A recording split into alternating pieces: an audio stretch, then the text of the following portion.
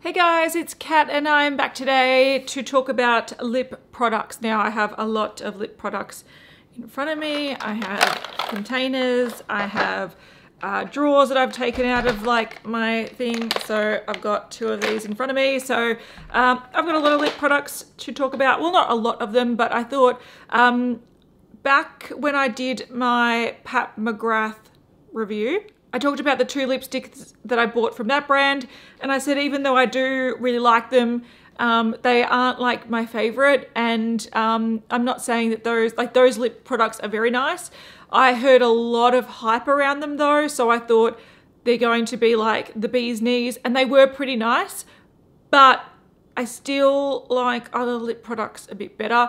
And this video isn't so much about what lip products are better than Pat McGrath because that's not what this is. But this is more about lip products that I have really been enjoying reaching for either recently or in the past year.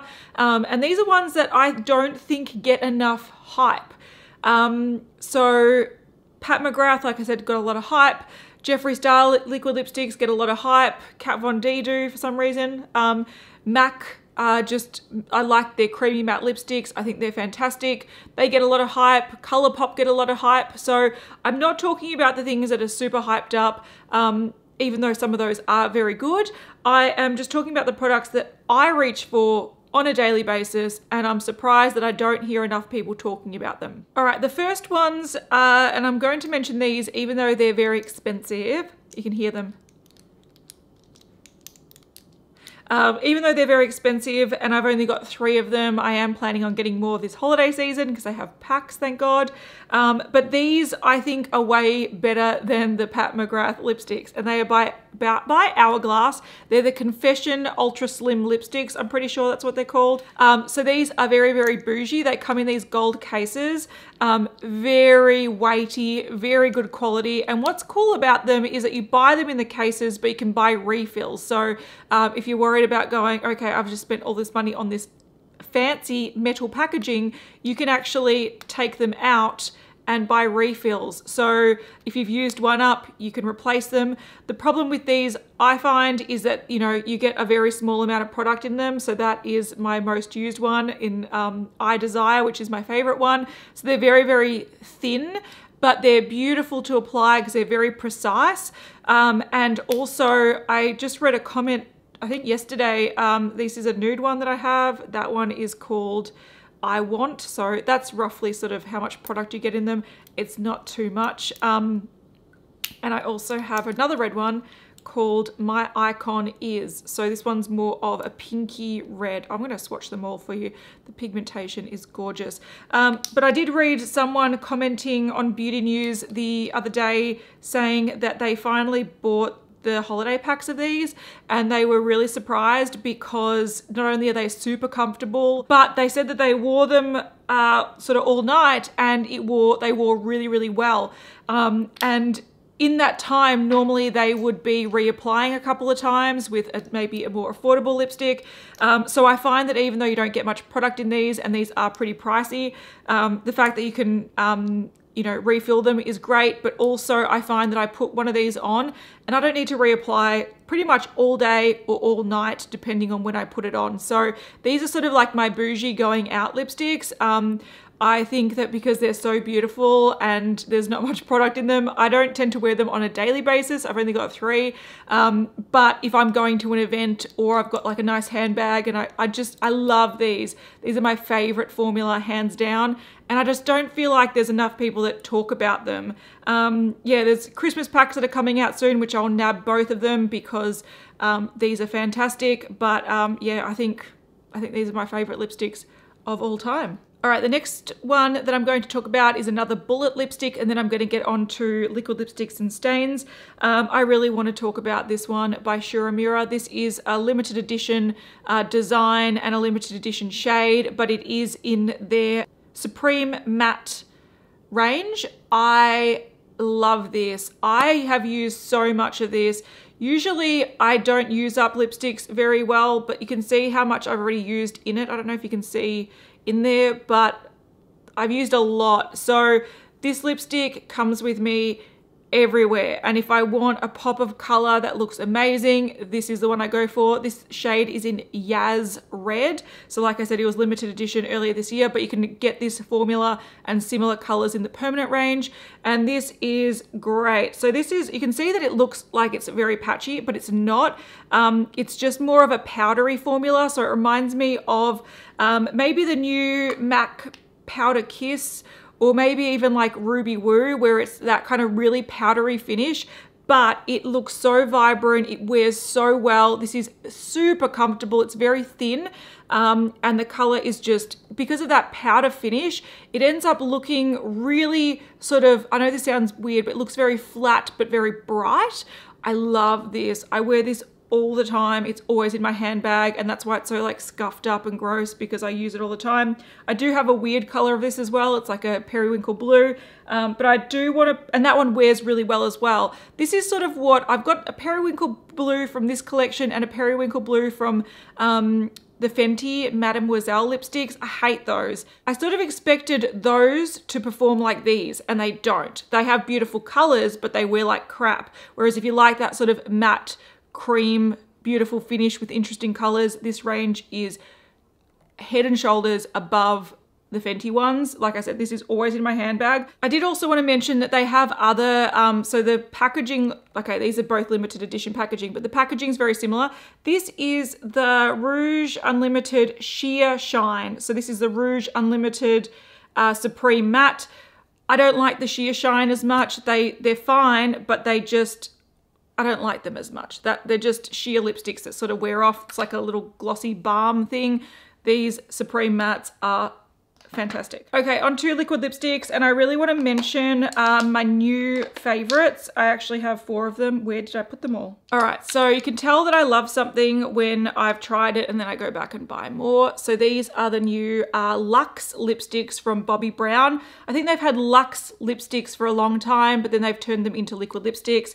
Um, and so we have two finishes here. You can see the two shiny lids are the shiny ones and the two matte lids, uh, lids are the matte ones. Now I was gifted these two and then I went back and I bought these two. So the fact that I went back and bought these, these are not cheap. They're $56 in Australia. I went back and bought two. It shows how much I love these. I just wanted shades that I could wear probably more commonly on a daily basis. I'm wearing the nude one today. So this is one of the glossy ones um, and this is in the shade Barely Nude. Each of these ranges, so the glossy and uh, these are called, so these are the Luxe Liquid Lip High Shine so each of the high shine ones come in nine shades and each of the Luxe Liquid Lip Velvet Mattes come in nine shades. So there's 18 shades altogether.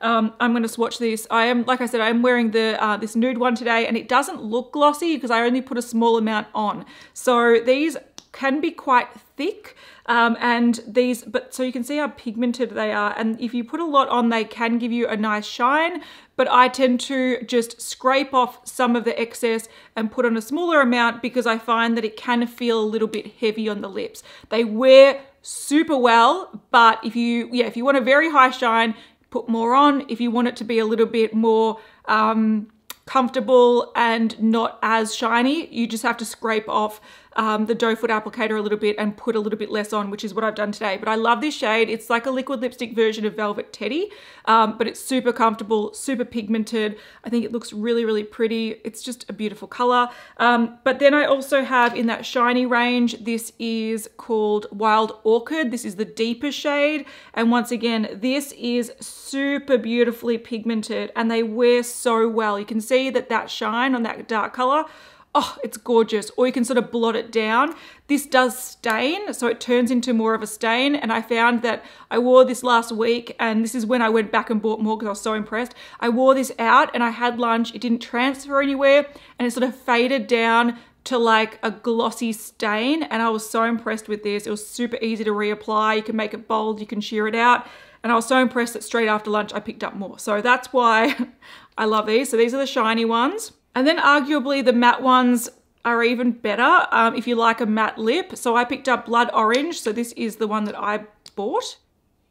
So you can see the pigmentation is beautiful. This is a nice sort of terracotta bright orange. And this is the, once again the darkest in the range called Your Majesty. I'm pretty sure it's the darkest in the range or one of. Um, and this is more of a sort of, I don't know, wine shade. These look shiny right now, but they will settle down. And once again, um, these can, I think the one downside is that you can over apply them and they can feel a little bit heavy on the lips, but they wear so well. I wore the orange one all day and it, I, like, I think in the afternoon, I, it was like four o'clock or five o'clock, I checked my makeup to be like, oh, I should reapply this. And I'm like, no need. So these are fantastic. I think they're so great. I think if they were just cheaper, I'd buy all of them, uh, but they're not. So these are new from Bobbi Brown. Look at that shine. And then these do settle down matte and the colors are fantastic. The pigmentation is supreme. So yeah, I know that those don't really suit the, um, you know, underrated product thing because they're only brand new so um, not many people know about them. But uh, if you have you know if you are interested they're really nice. Then on to other liquid lipsticks. I wanted to mention that my favorite range of liquid lipsticks and I've got them all here because I really love them they are by Too Faced and they're the melted mattes. So I once again, like these have been out for a long time. They do keep re-releasing shades, not re-releasing, bringing out new shades, but I've got a couple of minis and I've got, um, you know, a bunch of them. I have a heap of them. So I do know that they keep bringing out new shades and they bring out Christmas packs, which I'm looking forward to the Christmas minis. Oh my God, I'm gonna, I'm there, I'm buying them. Um, but these, for me, are really great liquid lipsticks. And I know that, you know, Too Faced, I'm dropping them all. I've got nine of them. Um, because Too Faced is a really big brand. So if you're wondering and going, okay, these aren't underrated. I just don't hear anyone talk about them. I even remember when the Christmas pack came out uh, in the US, uh, the mini one that's yet to come out in Australia. Um, I remember Emily Noel actually said that she'd never used them before. And I, whenever I talk about them, I know a lot of people say, oh yeah, I've heard you talk about them, but I've never used them before. So I feel like these are, you know, things that a lot of people have know of, but don't actually try. And in my opinion, they shit all over Jeffree Star, Kat Von D, Wet and Wild, all those things. I think these are really, really great. Um, so this is a mini one um, from a Christmas collection. It sort of sparked my obsession of these. But I do think that like all liquid lipsticks, the consistency of, or the, how it wears and how it applies varies from shade to shade. And the rule of thumb with liquid lipsticks is that nudes generally wear super, super well. Bright reds wear super, super well but very, very dark shades and very, very like neon shades or shades that have a lot of a white base. So very fair nudes like the concealer lip nudes, they often need a lot more pigment to be opaque, so they often are a little bit more crumbly. So I do think that the strength in this collection are the nudes and also the reds. Um, so this is Queen Bee, this is Sellout, this is Suck It, this is Wine Not, which ends up applying quite dark. Um, I'll just swatch this one for you. It's a lot darker than it looks in the tube. So that's it there. That one does wear pretty well, but if you go much darker than that, I find that they can be a bit crumbly. But all of these are super comfortable. They're very, very pigmented. They wear through food. They're great. So these are liquid lipsticks that I know that I can wear these and like your lips look great. They're great. The next products that I really do like because they're very comfortable but they're very flattering and they wear really well are by Pixi. Um, these are the, what are they called? Mattelast Liquid Lip. I think Pixi is one of those brands that are really hit or miss. So some products um, are really good. Some products are kind of shit, um, but these are great. These are the first five that were released. I think they've got another five now. I think they've got some pinks and they've got some reds. I really want the reds, but my favorite are these two here, which are like the true nudes. So we have matte beige, which is my most used one, and also pastel petal, which is close. But if you want a very comfortable liquid lip, um, these are a lot thinner than the um, the Too Faced ones. They are just as like pigmented. You can see it almost looks like an oil slip to it, but these are just really flattering. They wear really nicely. They just wear down to, um, so that's matte beige, I think. You can see that there's not much of a difference. Matte beige and pastel petal there, um, but you can they wear really well. They're super, super comfortable. Um, so these are ones that, once again, if I want a nice nude lip, I go for these. Uh, we've got more pinky ones and a slightly more peachier one. I don't reach for these as much, but uh, these are handbags handbag staples. I often have them floating around my handbag. Then the last thing that I harp on about all the time, and at any one point in time, I've got one of these in my handbag. I've just pulled out um, one of them to talk about today um, is the Tony Moly lip stains. I've got all of them. These are available in Myer in Australia. Um, I think generally the ones that are in stock, because there are two new ones that have recently come out. This uh, tomato orange one and this uh, sort of, I think it's a petal one. The pink, the the sort of true red, the orangey red, and the orange are always in stock. I sometimes go past to see if there's any more shades and they are always in stock. So if you wanted to find them, you can. But these are the shocking lip stains. Now they do have other lip stains, which I'll show you in a second, but these are my all-time favorites. And um, they all sort of look sort of similar in the swatch, but they look slightly different on the lips. So you have more of a true orange, which does lean a little bit red, so it's not too um, doesn't make your teeth look too yellow. Then you have tomato, which is a little bit more coral, I would say. So it's a red, but it's not like an orange, orange red. It's like a, it's got a bit of a coral to it, which is really pretty. Then we've got Shocking Ruby, which is more of an orange toned um, red, which I love.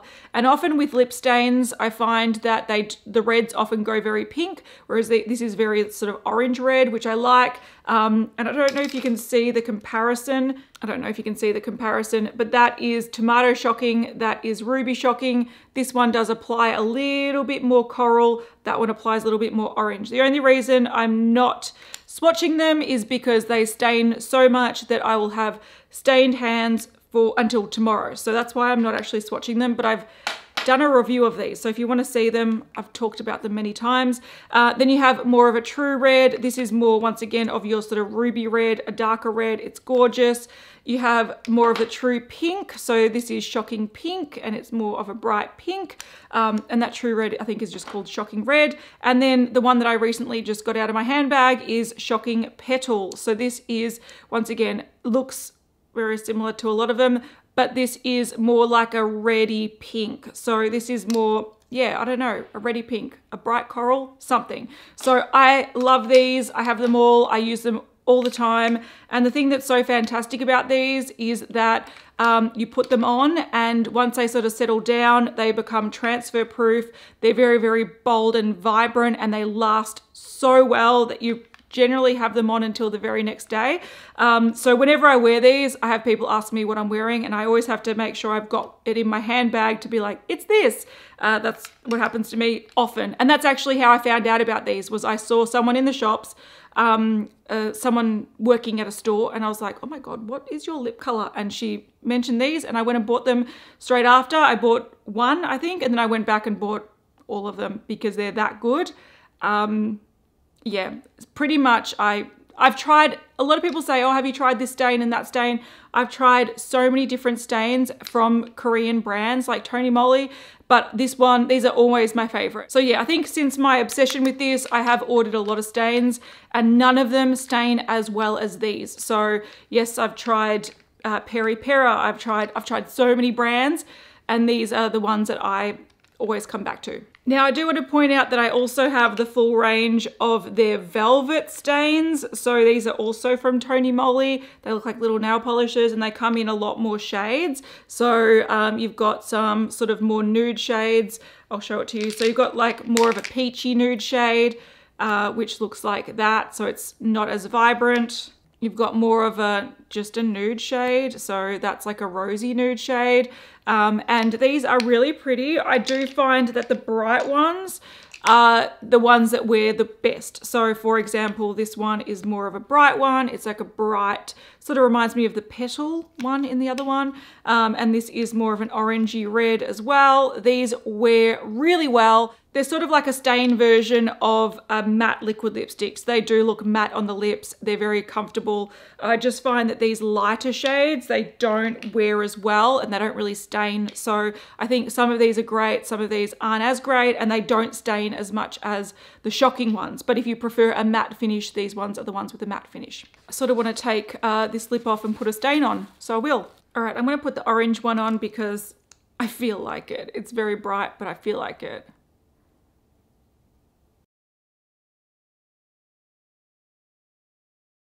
All right, so that's shocking orange. So you can see it sort of, it is very orange, but it, it sort of, once you've put it on, it sort of settles down to more of an orange red. And this stain is crazy. It is crazy. Um, you can see that it's got a shine to it, but if you, uh, that sort of settles down over time. So it ends up sort of conditioning or moisturizing your lips and then when that starts to wear off, so after you're eating and drinking, it sort of just looks like a normal stain and then you can put a lip balm or something on over the top if you want or reapply. I think it's really gorgeous. I might actually put one of the matte ones over the top so you can see how the matte ones compare. I'll reach for the matte orange. So this is, I don't know, 06. It's a matte orange one. So you can see that's like that. I've never actually put the stain over each other, so we'll see how it goes. So that is this one over the top of the other one. Um, it's not really matte, it's not really shiny, it's sort of, it's got a little bit of a shine. I think it will settle down to more of a matte, but you can see that this one just adds a little bit more darkness to the lip, but it will probably start to settle a little bit more matte soon, but you know, you've got a shiny and a matte together, but there you go. All right, guys, so those are the lip products that I personally love and I think are sort of underappreciated in sort of the makeup community. I have tried so many other liquid lipsticks. I've got, you know, Wet n Wild here. I've got, I've got NYX, I got Kylie, I got Huda, I've got everything. I've got Sugarpill, Dose of Colors, Lime Crime, Anastasia Beverly Hills, YSL. I've got so many lip products because I'm sort of like a lip product junkie. Um, I can, I've sort of realized in my time that I do like playing with different eyeshadows, but I particularly love a beautiful lip. And if a beautiful lip is bold, is comfortable, wears well, then I'm I'm a happy camper. I can pretty much wear virtually no makeup, but a beautiful lip and um, I, I, like my makeup. So um, these are the products that I do think are sort of underappreciated. Um, you can see this is starting to go a bit more matte. God, that's a good color. I love it. So yeah, these are the products that I think aren't really talked about enough or aren't given enough props to. But I do want to say that if I my whole makeup collection disappeared and I just had to buy the shades in these products, like these lip products, I would be super happy. If I had all of these and sort of like all of these and the liquid lipsticks and the stains I'm talking about, which I do have all the stains because I'm crazy, um, I wouldn't even notice that my makeup collection has disappeared because these are the ones that I always reach for. They're reliable, they wear well, they look great, they feel comfortable. Um, they're fantastic. I love them. All right, guys, I will see you in the next one. Bye.